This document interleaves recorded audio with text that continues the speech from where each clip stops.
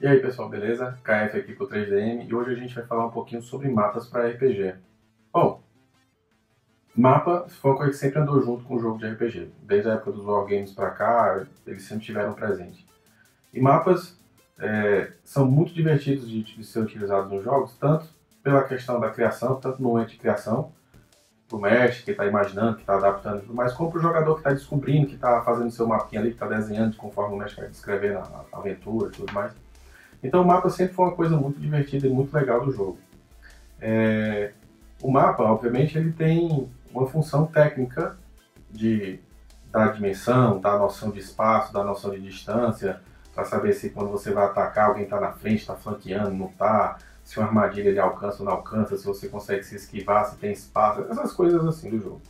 E tem a questão, é, é, é, a questão lúdica, como a gente falou, de você descobrir, do mestre fazer, desenhar o seu mapa, imprimir ou fazer manualmente, sei lá que seja, ele entregar para os personagens falando, ó, oh, vocês encontraram esse mapa, esse mapa indica que tem alguma coisa, isso eles podem correlacionar com a trama da história, ou ser uma, uma quest, uma busca separada, que vai, sei lá, pode ser que dê experiência só, mas a pessoa encontre algum tesouro, algum item mágico, alguma coisa, que dá um sabor a mais, que dá um, um, um quê, né, um diferencial para o jogo e, é, e, e, sempre é muito bom para o hobby. Isso ajuda muito, principalmente na parte de imersão, de você entender que aquele mundo torna ele um pouco mais real, né, torna ele um pouco mais próximo. E, obviamente, como a gente falou da questão técnica, voltando um pouquinho, essa questão de você saber do deslocamento, não só em situações menores, como combates, como encontros e tal, né, ali naquele, em pequenas dimensões, mas você também saber em dimensões maiores, como quando as pessoas estão viajando de uma cidade para outra, a distância percorrida, o tipo de terreno que eles estão utilizando e tudo. Então, quando o mestre já tem o seu mapinha pronto, ou já tem pelo menos uma ideia, isso facilita muito o trabalho dele obviamente, torna o trabalho dele mais consistente. E mesma coisa, torna a imersão do, no, no jogo por parte dos jogadores um pouco mais fácil. Tem muita pessoa que advoga que o teatro da mente é a coisa mais importante do jogo, e eu concordo. Nesse ponto eu, eu concordo plenamente. Mas a gente tem que entender que o teatro da mente sozinho não resolve tudo. Dentro desse âmbito técnico, você às vezes precisa, como a gente falou, saber se uma pessoa está sendo flanqueada ou não, se quando você vai jogar, o mago vai lançar sua bola de fogo, ele vai acertar só os inimigos dele ou vai acertar os, os amigos dele também. É, se quando um dragão faz, usa seu sopro de dragão ou um mago usa um inimigo usa uma flecha, usa um efeito de ou qualquer coisa desse tipo, se isso vai interferir, vai afetar outros personagens ou de que forma isso vai afetar. Então, nesse momento, você precisa saber, você precisa saber distância, você precisa contar quadrados, hexágonos que sejam no mapa. E aí, esse mapa pode ser, como eu disse, um mapa de um reino, mas pode ser simplesmente um grid. Então, esse grid, às vezes, é um mapa. E esse, isso aí, obviamente, é, é, aborda essa questão técnica do jogo, da, do combate, de você poder então fazer as suas manobras e planejar o que, é que você está fazendo. Obviamente que isso também ajuda muito o entendimento. Eu já joguei situações, já ensinei situações de combate com jogadores, só no teatro da mente às vezes ficava um pouco confuso, as pessoas não tinham muito bem certeza é, se elas estavam mais próximas ou não do inimigo, de um amigo, se poderiam fazer alguma ação ou não. Às vezes eles pensavam que estavam com um caminho livre, na verdade tinha alguém no meio. E aí isso aí às vezes acaba, acaba atrapalhando o jogo e o pessoal pode achar que o mestre está tá enrolando ou que não está sendo muito justo e aí, é, lá, diminuir a diversão do jogo de modo geral.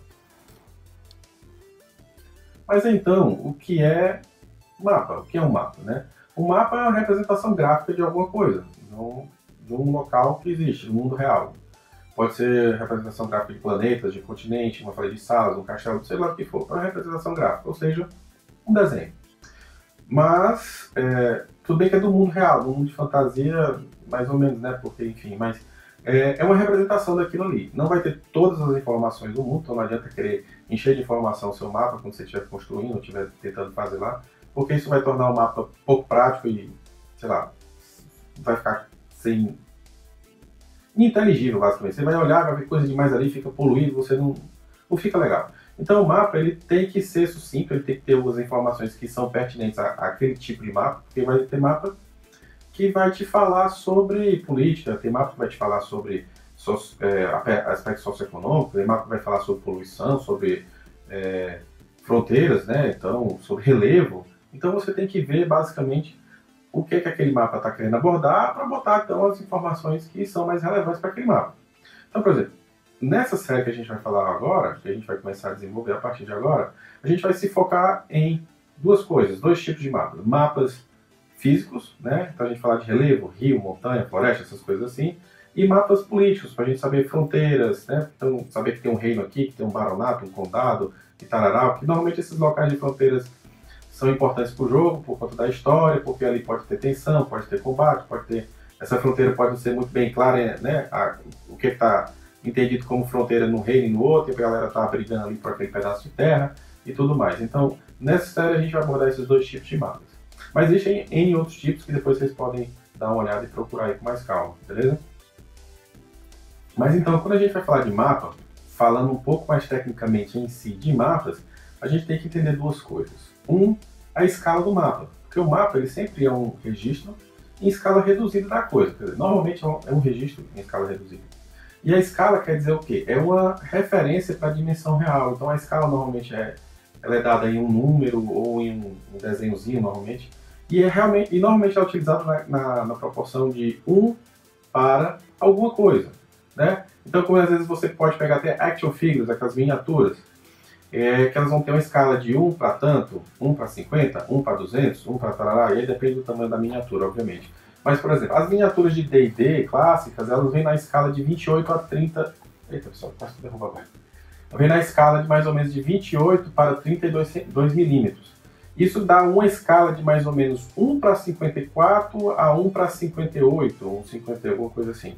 Então vamos botar que seja mais ou menos 1,54, 1 para 54.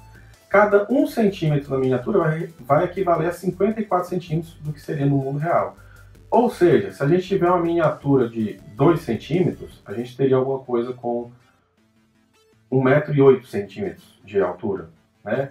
Então a gente teria um anão, acho que o anão talvez teria alguma coisa próximo de 2,7 a 3 centímetros a miniatura de um anão. A miniatura de um humano talvez teria, obviamente, um pouco mais, de um halfling um pouco menos, de um gnoll mais ainda, um ogro gigante e por aí vai.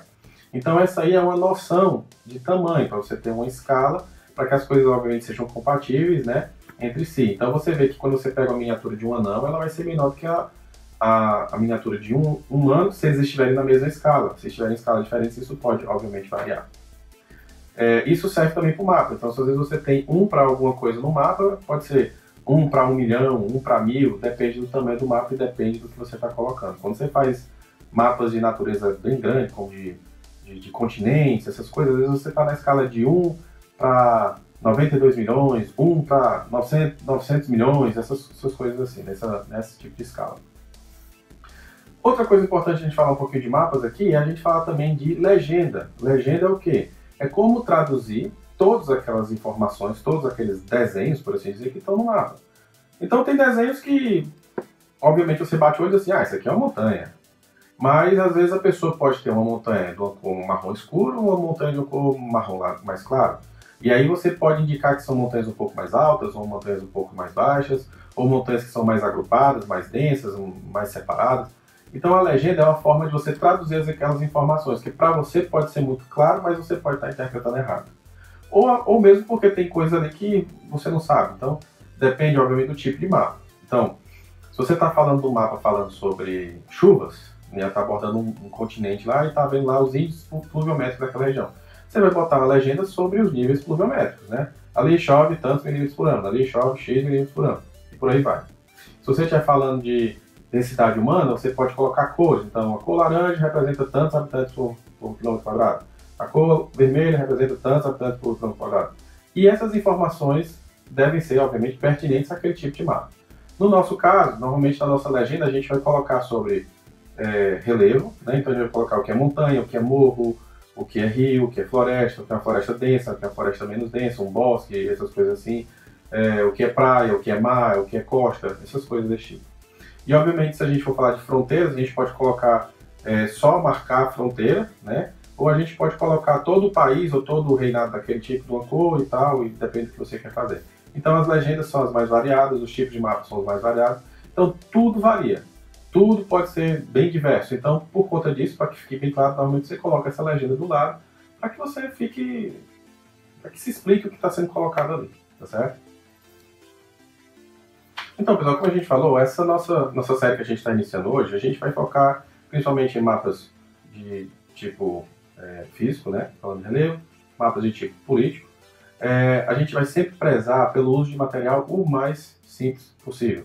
Eu não sou profissional da área, eu não sou cartógrafo, eu não sou desenhista, é, a gente faz isso aqui só por gosto, por hobby, mas a gente percebeu o seguinte, há uma escassez muito grande desse tipo de material em português. A gente encontra muito em inglês, sejam vídeos, textos, livros, que seja. E em português a gente viu pouca coisa específica. Então a gente resolveu trazer isso um pouco para a nossa realidade, do português. A gente sabe que a barreira da língua ela, ela é um empecilho grande para a maioria das pessoas. Então a gente vai tentar fazer isso aí. Eu estou meio que copiando descaradamente de alguns sites, copiando de alguns livros, de algumas coisas, né, alguns sites, de, de canais de YouTube também. Então, se vocês é, perceberem que, que a gente está fazendo parecido com alguém, porque provavelmente a gente pegou deles aí. Até conversei com aquele cara do canal, WASD20, pedindo autorização, ele disse que tudo bem. Então, recomendo que vocês deem uma olhada no canal dele. O canal dele é muito bom essa parte de, de cartografia, inclusive também de review de material. Eu sei que é inglês, mas só de você às vezes ver como o cara está desenhando, como ele está representando essas coisas, já ajuda muito vocês, tá certo? Tem um outro canal que é o Question Beach, tem outro canal que é o Esper The Bard, tem outro canal que é o. Tem os outros aí, eu não sei. Eu vou colocar aqui no, na descrição do vídeo alguns canais para vocês darem uma, uma, uma olhada nessas coisas aí, tá certo?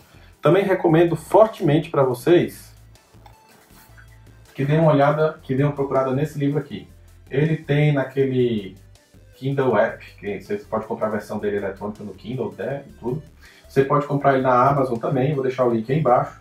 Ele não é tão caro, eu sei que ele é inglês, eu sei que isso também atrapalha, mas só de você ver os desenhos que ele tem aqui, a arte dele aqui, ele dá ideias muito boas de como fazer, ele dá um passo a passo de como construir o seu mapa, dos materiais que você pode utilizar e tudo mais. Então eu recomendo que você dê uma olhada. Às vezes a Amazon aparece com promoção e ele fica num preço muito massa, então fiquem de olho, né? Precisa comprar agora, mas fiquem de olho que às vezes aparece uma promoçãozinha boa, vai ter daqui a pouco Black Friday, essas coisas, e eles ficam muito bons, né? O preço. É, então, falando um pouquinho de material, o vídeo também ficar muito curto, a gente depois vai segmentar as outras coisas, a gente vai sempre prezar pelo material mais simples possível. Então, o que é que eu utilizo para fazer a maioria dos meus mapas? É, utensílios manuais. Tem gente que gosta de fazer, escanear e depois editar no Photoshop no GIMP. Eu prefiro mais a coisa, vamos dizer assim, artesanal e, e manual, tá certo? Então, normalmente o que eu uso é... Vou mostrar aqui para vocês. Um lápis, lápis comum, né? Minha cachorra já fez o favor de comer. Borracha, porque normalmente depois de passar o lápis eu cubro com a caneta. Aí eu apago depois para tirar a tinta. E aí se você quiser escanear ou fotografar depois disso, aí fica a seu critério, tá certo? Às vezes eu uso uma caneta azul, né? Só porque esse aqui é azul, para cobrir algumas coisas quando são águas, né? Tipo rios, lagos, essas coisas assim. Mas que de fato nem precisa, tá certo? É... Uma coisa importante para você fazer é papel gente usa papel simples, papel sulfite. Às vezes eu uso papel um pouquinho mais grosso, só que eu acho melhor por causa da, de apagar, para não ter perigo de rasgar essas coisas, tá certo? E como eu gosto de fazer o, a coisa um pouco mais manual mesmo, mais artesanal, eu acabo pintando com lápis mesmo. É, você pode usar lápis, você pode usar giz de cera, hidrocor, é, obviamente dependendo do papel mais que você está utilizando, tá bom?